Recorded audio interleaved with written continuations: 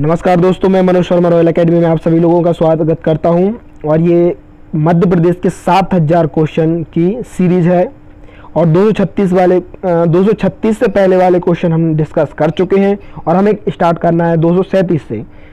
कुछ देखिए, पहला क्वेश्चन है, गोटमार मेला मध्य प्रदेश के किस ज़िले में लगता है?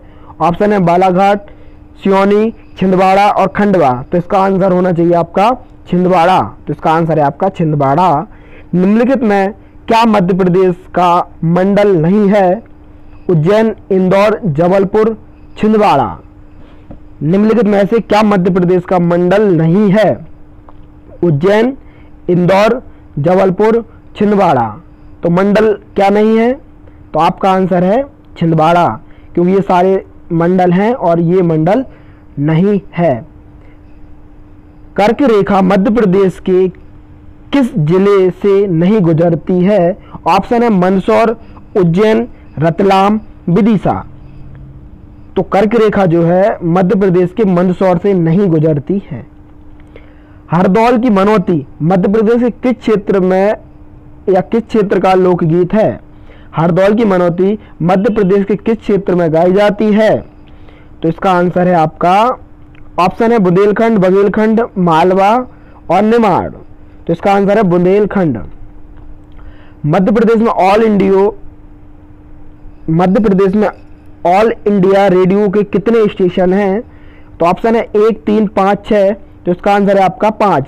तो मध्य प्रदेश में ऑल इंडिया के जो पाँच स्टेशन है, वो किस शहर में है? तो देखिए, पहला है आपका भोपाल, इंदौर छतरपुर ग्वालियर और छिंदवाड़ा। यहाँ पर ऑल इंडिया रेडियो के क्या है? स्टेशन है। अगला क्वेश्चन है ऑल इंडिया रेडियो सेवा मध्य प्रदेश के किस नगर में शुरू की शुरू हुई? ऑल इंडिया रेडियो सेवा मध्य प्रदेश के किस नगर में शुरू हुई?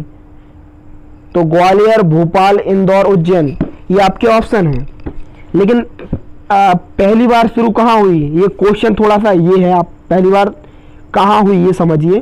तो पहली बार हुई थी आपकी इंदौर में। क्वेश्चन थोड़ा सा चेंज है। ऑल इंडिया रेडियो सेवा मध्य प्रदेश के किस नगर से शुरू हुई? मतलब प्रारंभ पहली बार कहाँ से हुआ था? तो इसका आंसर है आपका इंदौर। अगला है उत्तर प्रदेश और मध्य प्रदेश का संयुक्त प्रोजेक्ट कौन सा है? उत्तर प्रदेश और मध्य प्रदेश का संयुक्त प्रोजेक्ट कौन सा है? आपके ऑप्शन है राजघाट, माता टीला वन सागर, इनमें से कोई नहीं। तो इसका आंसर है आपका राजघाट। उत्तर प्रदेश और मध्य प्रदेश का संयुक्त प्रोजेक्ट राजघाट है, जो बैतवा नदी पर है। ये रहा आपका अगला क्वेश्चन मध्य प्रदेश ऊर्जा क्षेत्र में जल विद्युत का कुल कितना हिस्सा है? तो आपका आंसर है नौ सौ सत्रह दशमलव पाँच मेगावाट। अगला क्वेश्चन है, सबलगढ़ का किला मध्य प्रदेश के किस ज़िले में है? ऑप्शन है मुरैना, ग्वालियर, इंदौर, भोपाल। तो सबलगढ़ का किला आपका मुरैना में है। सबलगढ़ का किला जो मुरैना में है, उसे राजा गोपाल सिंह ने बनवाया था। अगला क्वेश्चन है कच्छ बाहर राजपूतों की राजधानी सिहोनिया मध्य प्रदेश के किस ज़िले में है? तो कछवाहा राजपूतों की जो राजधानी सिहोनिया था, वो मध्य प्रदेश के किस ज़िले में है?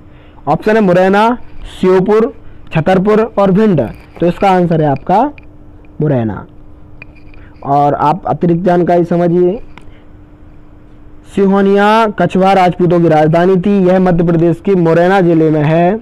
कछवाहा वंश की स्थापना 1115 से 1135 तक राज्य करने वाले राजा कीर्ति राज ने की थी। मध्य प्रदेश में आईआईटी और आईआईएम किस शहर में है? मध्य प्रदेश में आईआईटी और आईआईएम किस शहर में है? तो इसका आंसर है आपका इंदौर। मध्य प्रदेश में कितने केंद्रीय विश्वविद्यालय हैं? तो मध्य प्रदेश में दो केंद्रीय विश्वविद्यालय हैं, जिनका नाम है पहला डॉक्टर हरि सिंह, गौर विश्वविद्यालय सागर, दूसरा इंदिरा गांधी राष्ट्रीय ट्राइबल विश्वविद्यालय अनूपपुर। तो मध्य प्रदेश में दो केंद्रीय विश्वविद्यालय हैं। भरतरी लोकगीत मध्य प्रदेश के किस क्षेत्र का गीत है? क्वेश्चन है, भरतरी लोकगीत मध्य प्रदेश के किस क्षेत्र का गीत है? तो भरतरी जो है, वो आपका मालवा क्षेत्र का लोकगीत है। अगला क्वेश्चन है, मध्य प्रदेश का राजकीय वृक्ष कौन सा है? तो बरगद जो, बरगद का जो पेड़ है, वो मध्य प्रदेश का राजकीय वृक्ष है। जो कि उन्नीस सौ इक्यासी में मध्य प्रदेश का राजकीय राजकीय पेड़ चुना गया। राखी की चुनौती की रचयिता कौन थी? राखी की चुनौती की रचयिता कौन थी? तो इसका आंसर है सुभद्रा कुमारी चौहान। सुभद्रा कुमारी चौहान। अमजद अली खान मध्य प्रदेश के किस क्षेत्र से हैं? तो अमजद अली खान ग्वालियर से हैं। अमजद अली खान मध्य प्रदेश के किस क्षेत्र से हैं? तो ये ग्वालियर से हैं। ये प्रसिद्ध सरोद वादक थी, जिनका जन्म 9 अक्टूबर 1945 को हुआ था। सफ़ेद बाघों की भूमि मध्य प्रदेश के किस ज़िले को कहा जाता है? तो सफ़ेद बाघों की भूमि मध्य प्रदेश के रीवा ज़िले को कहा जाता है। कुनो वन्य जीव अभ्यारण्य, कुनो वन्य जीव अभ्यारण्य मध्य प्रदेश के किस ज़िले में है? कुनो वन्य जीव अभ्यारण्य मध्य प्रदेश के श्योपुर ज़िले में है। बाघों की संख्या के आधार पर मध्य प्रदेश का भारत में कौन सा स्थान है? तो बाघों की संख्या के आधार पर मध्य प्रदेश का भारत में तीसरा स्थान है। पूछा जाता है कि पहला स्थान किसका है? तो पहला स्थान है कर्नाटक का। और दूसरा किसका है? उत्तराखंड का। और तीसरा किसका है? मध्य प्रदेश का। बिरहा और विदेशिया नामक गायन का तरीका मध्य प्रदेश के किस क्षेत्र में है? बिरहा और विदेशिया नामक गायन का तरीका मध्य प्रदेश के किस क्षेत्र में है? तो बिरहा और विदेशिया मध्य प्रदेश के किस क्षेत्र में गाया जाता है? बघेलखंड में गाया जाता है। गोडवाना क्षेत्र मध्य प्रदेश के किस क्षेत्र में पड़ता है? तो गोडवाना क्षेत्र मध्य प्रदेश के दक्षिण देखिए ऑप्शन है दक्षिण पूर्व मध्य प्रदेश, दक्षिण पश्चिम मध्य प्रदेश, उत्तर पूर्व मध्य प्रदेश, उत्तर पश्चिम मध्य प्रदेश। तो गोडवाना जो पड़ता है, दक्षिण पश्चिम मध्य प्रदेश में पड़ता है। ये रहा आपका अगला क्वेश्चन बुम्बुलिया लोकगीत किस क्षेत्र से संबंधित है? तो बुम्बुलिया जो लोकगीत है, वो बघेलखंड से संबंधित है। अगला क्वेश्चन है सिंघा और दालूजी। मध्य प्रदेश के किस क्षेत्र का लोकगीत है? सिंघा और दालूजी मध्य प्रदेश के नीमच क्षेत्र का लोकगीत है। अगला क्वेश्चन है चौकरिया चौकरिया फाग मध्य प्रदेश के किस क्षेत्र का संगीत है? तो चौकरिया फाग जो है मध्य प्रदेश के बुंदेलखंड का है। मध्य प्रदेश का सबसे छोटा अभ्यारण्य कौन सा है? तो रा, आ, राला मंडल वन्यजीव अभ्यारण्य राला मंडल वन्यजीव अभ्यारण्य मध्य प्रदेश का सबसे छोटा वन्यजीव अभ्यारण्य है। इसकी स्थापना उन्नीस नवासी में हुई थी। यह इंदौर ज़िले से, ज़िले में है। ये पाँच वर्ग किलोमीटर में फैला हुआ है।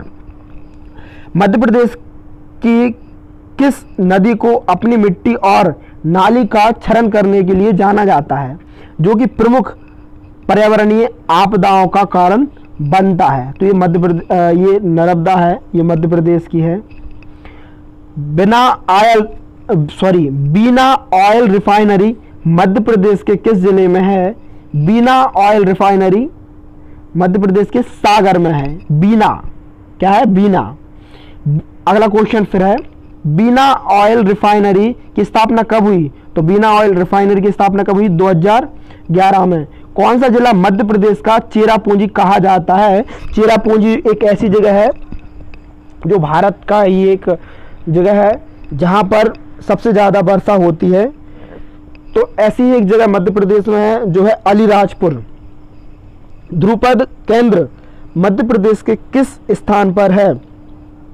ध्रुपद केंद्र मध्य प्रदेश के भोपाल स्थान में है। भगोरिया नृत्य किस जनजाति से संबंधित है? तो भगोरिया नृत्य भील जनजाति से संबंधित है। अहिरे लोक नृत्य किस जनजाति से संबंधित है? तो अहिरे जो लोक नृत्य है, वो भारिया जनजाति संबंधित है। सतखंडा महल किस ज़िले में है? तो सतखंडा जो महल है, वो दतिया ज़िले में है। इसे राजा वीर सिंह देव ने बनवाया था। क्षेत्रफल की दृष्टि से मध्य प्रदेश का सबसे छोटा जिला कौन सा है? क्षेत्रफल की दृष्टि से मध्य प्रदेश का सबसे छोटा जिला दतिया है। मध्य प्रदेश विधानसभा के पहले स्पीकर कौन थे? मध्य प्रदेश विधानसभा के पहले स्पीकर पंडित कुंजीलाल दुबे थे। मध्य प्रदेश के मोहम्मद समीर दाद किस खेल के खिलाड़ी थे? मध्य प्रदेश के मोहम्मद समीर दाद हॉकी के प्लेयर थे। कालीदास समारोह कहाँ मनाया जाता है? तो कालीदास समारोह उज्जैन में मनाया जाता है। मध्य प्रदेश की कौन सी नदी पश्चिम की ओर नहीं बहती? ऑप्शन है माही, ताप्ती, नर्मदा और चंबल। मध्य प्रदेश कौन सी नदी पश्चिम की ओर नहीं बहती? तो चंबल नदी पश्चिम की ओर नहीं बहती, बाकी नदियाँ पश्चिम की ओर बहती हैं।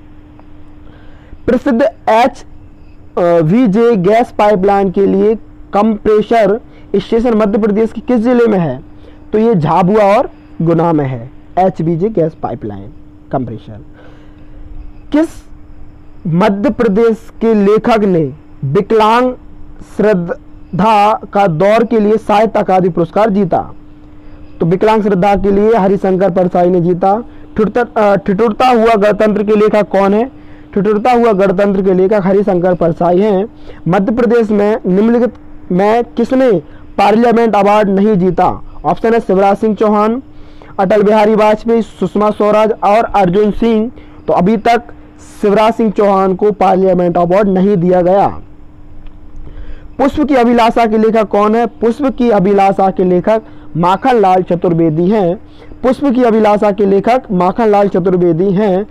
इन्होंने बहुत सारी रचना की हैं, आप एक बार इनकी देखिए अच्छे से रचना।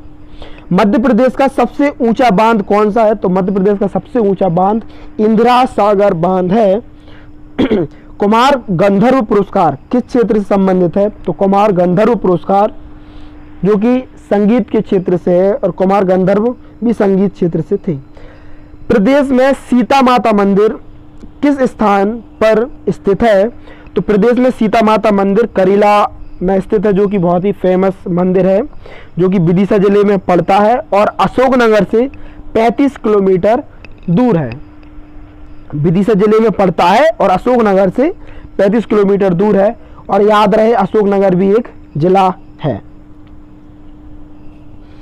विदिशा का प्राचीन नाम क्या है? विदिशा का प्राचीन नाम भेलसा है।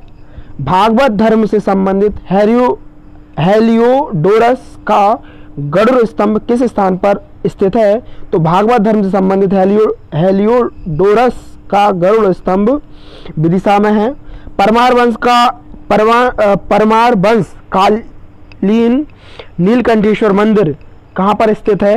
तो परमार वंश का जो नीलकंठेश्वर मंदिर है, वो आपका उदयपुर, जो कि विदिशा में, विदिशा वाला उदयपुर है ना कि राजस्थान वाला उदयपुर, और जो कि विदिशा ज़िले की एक तहसील गंजबास उदास से लगभग 12-15 किलोमीटर दूर है। ये परमार वंशकालीन नीलकंठेश्वर मंदिर है। मुगावली की खुली जेल किस ज़िले के अंतर्गत आती है? तो मुगावली की जो खुली जेल है, वो अशोकनगर के अंतर्गत आती है। अशोकनगर एक जिला है। काना बाबा का मेला कहाँ लगता है? तो काना बाबा का मेला सोडलपुर जिला हरदा में लगता है। ट्रैक्टर प्रशिक्षण एवं ट्रेनिंग सेंटर कहाँ स्थित है? ट्रैक्टर प्रशिक्षण एवं ट्रेनिंग सेंटर बुदनी सीहोर में है। बुदनी जो कि सीहोर में है, वहाँ पर स्थित है। क्षेत्रफल की दृष्टि से मध्य प्रदेश की सबसे बड़ी तहसील कौन सी है? क्षेत्रफल की दृष्टि से मध्य प्रदेश की सबसे बड़ी तहसील अजयगढ़ है। किस भारतीय राज्य में सर्वाधिक वन पाए जाते हैं? तो वन मध्य प्रदेश में पाए जाते हैं। हरदौल की मनोती किस ज़िले से संबंधित है? टीकमगढ़ से है। और टीकमगढ़ कौन, सी पठार का है? बुंदेलखंड। फॉरेंसिक साइंस लेबोरेटरी कहाँ पर है? तो फॉरेंसिक साइंस लेबोरेटरी सागर में है। एसीसी सीमेंट फैक्ट्री कहाँ स्थित है? कैमूर, कटनी में है। कैमूर एक जगह है, कटनी का, कटनी के पास, वहीं है, कटनी में। रेणुका माता मंदिर कहाँ है? तो रेणुका माता मंदिर जम धारा भिंड में है। मूर्ति कला के लिए प्रसिद्ध एम आर फड़के स्टूडियो। मूर्ति कला के लिए जो प्रसिद्ध एम आर फड़के स्टूडियो है, वो कहाँ है? तो जो मूर्ति कला के लिए जो प्रसिद्ध एम आर फड़के स्टूडियो है, वो धार में है। अगला है, महेश्वर में सुंदर घाट बनाने के लिए कौन विख्यात थी? तो महेश्वर में जो सुंदर घाट बनाने के लिए रानी अहिल्याबाई विख्यात थी। किसका विवाह गोडवाना के राजा दलपत सिंह से हुआ था? तो रानी दुर्गावती का विवाह गोडवाना के राजा दलपत सिंह से हुआ था। मांडू का प्राचीन नाम क्या था? तो मांडू का प्राचीन नाम सादियाबाद था। घाटी गाँव वन्य जीव अभ्यारण्य कहाँ स्थित है? तो घाटी गाँव वन्य जीव अभ्यारण्य ग्वालियर में स्थित है और हम पहुँच गए हैं 300 पर। 300 का क्वेश्चन है, भोपाल और जबलपुर किस रेलवे जोन के अंतर्गत आते हैं? ये क्वेश्चन बहुत इंपॉर्टेंट है। वैसे तो आपको भारत के जितने भी रेलवे जोन हैं, वो लगभग याद होने चाहिए। तो आपका है भोपाल और जबलपुर किस रेलवे जोन के अंतर्गत आता है? तो भोपाल रेलवे जो है पश्चिम मध्य रेलवे जोन के अंतर्गत आता है। तो यहाँ आपके 300 क्वेश्चन पूरे हुए। बाकी क्वेश्चन हम अगली वीडियो में डिस्कस करेंगे। अगर आपकी हमारी अगर आपको हमारी मेहनत पसंद आती है तो आप हमारा चैनल सब्सक्राइब कीजिए और अपने दोस्तों के साथ वीडियो साझा कीजिए शेयर कीजिए। और साथ ही आप हमें बता सकते हैं कमेंट करके कि ये कैसी सीरीज़ है। इसमें कुछ, किसी प्रकार कोई सुधार करना हो, किसी भी प्रकार कोई सुधार की आवश्यकता हो तो आप बता सकते हैं। धन्यवाद। बाकी के हम क्वेश्चन बने हुए हैं। हम अगली वीडियो में डिस्कस करेंगे।